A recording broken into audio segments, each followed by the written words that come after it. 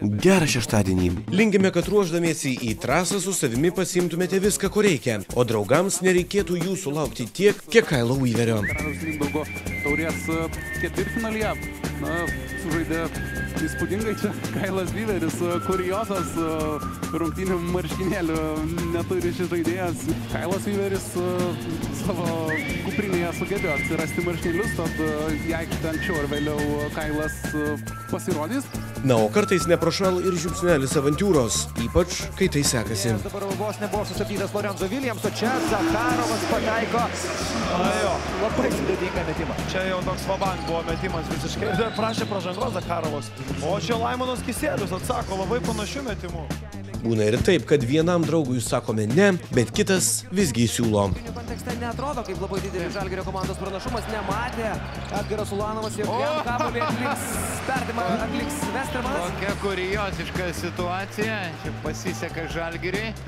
Ir atrodo, aikštės gynyba jau taiko Skykop. Nu, pažiūrėsim. Žinoma, savaitgalį galima leisti ir ramiai tiesiog žiūrint filmus. Štai Tomas Jasevičius kadaise tikrai yra matęs Matricą.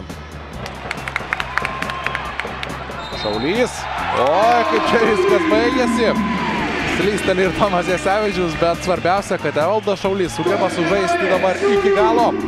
O Kailas Weaveris atrodo yra žaidęs kvadratą.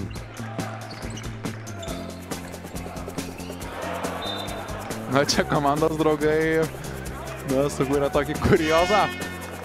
Būtų smagu pamatyti ir pakartojimą. Kamuolys skriejo į galvą ir aišku, taip Neptūnas prarado kamuolį. Kartais fortuna mus paveda paprasčiausiose situacijose. Oi, kaip gražiai. O! Čia Šištofas Lavrinovičius pradžiugina Kauno sporto halę. Pavargęs, broli. O kartais sėkmė regis nori likti amžinai. O dabar jis yra gerokai įsižaidęs. Aarono White'o sudėtingas metimas, taškai krepšyje. 45-33. Ir pabaigai linkėdami gero savaitgalio atsisveikiname su tam tikra prasme muzikiniu Alitaus ir galių pasirodymu. O Petrilevičius tiksliai atakuoja nuo baudų metimo linijos. Čia Linksmi aistruoliai jo nepamažinę nealkoholinę lovą. Muša būgną ir vienas kitą.